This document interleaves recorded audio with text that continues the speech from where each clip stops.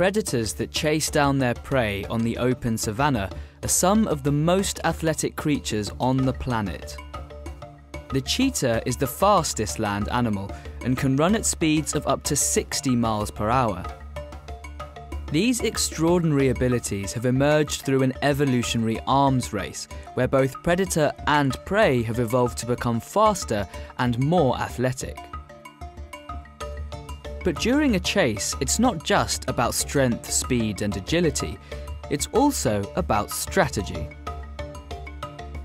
So we wanted to investigate the actual tactics of a hunt, what the prey is doing to maximise its chances of evading the predator, what the predator is doing to maximise its chances of capturing the prey.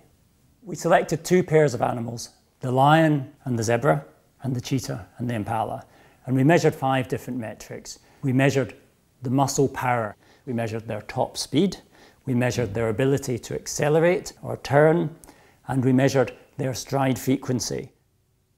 So to measure these things, we used wildlife tracking collars. This is a cheetah collar, a zebra collar, and a lion collar. The electronics are all very similar. On the top, we've got a GPS antenna and solar panels, and this has got all the movement sensors that we use, the GPS, the accelerometers, the gyroscopes that actually capture the movement on the animal. These are fairly robust plastic. If we look at something like the lion collar, this is 4mm polycarbonate, effectively bulletproof glass.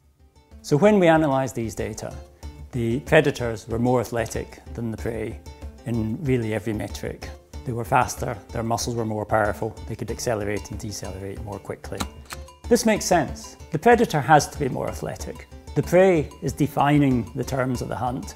It is always one stride ahead, and the predator is always playing catch up and reacting to what the prey has just decided to do. So it's not surprising we see greater athleticism in predators. So we have hunting data for the predator and for the prey, but we don't have it for the same hunt.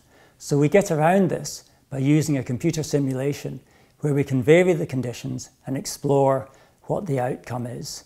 So here is the model. We've got in red the prey running away from the predator and in blue the predator approaching the prey. In the next two strides the predator is going to reach the prey. So in the first stride the prey makes a decision to move. It can turn left or right or speed up or slow down. So it can move anywhere in the red ellipse. The predator doesn't know what the prey is going to do, so it carries on at the same speed straight ahead. In the second stride, the prey can continue making a second manoeuvring decision. The predator has sensed what the prey is doing and will then react to that by attempting to capture the prey. The larger the area of the red ellipse covered by the predator's blue ellipse, the greater the chance the predator has of capturing the prey. So you might think the prey's strategy should be to run as quickly as possible away from the predator. That is absolutely not the case because the predator is faster and is catching the prey up. And actually, for the prey, it wants to be moving slowly because that gives it a much greater range of options to outmaneuver the predator. It can turn, it can speed up, it can slow down, and it's all about unpredictability. For the predator, it wants the prey to be moving as quickly as possible and it doesn't want to be moving much faster than the prey. If the predator is moving very quickly, it makes it much harder for it to turn sharply, and that limits its ability to outmaneuver the prey. Here we've looked at the athlete, the predator and the prey.